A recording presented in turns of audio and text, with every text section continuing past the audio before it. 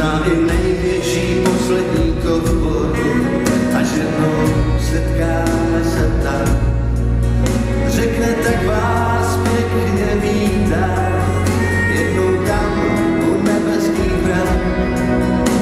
kde každý věčně máme a slzy